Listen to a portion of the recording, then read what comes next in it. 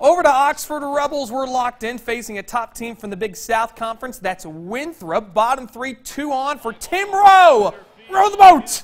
We're going to right. We got showers that are incoming in right field. Yeah, that came up on the radar quick. Three-run shot to right. It's 5 nothing Rebels after three. But Tim Rowe wasn't the story. That was Ryan Rolison. Dude was rolling on the mound in some kind of rhythm.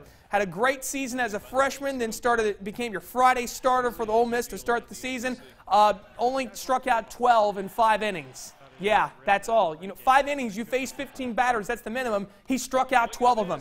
He only gave up one hit and walked two. That's pretty exceptional. He had a big day. Will Golsan notched an RBI in the win uh, in his first game playing center field. Rebels would win it seven to three. They're back in action tomorrow at 1:30.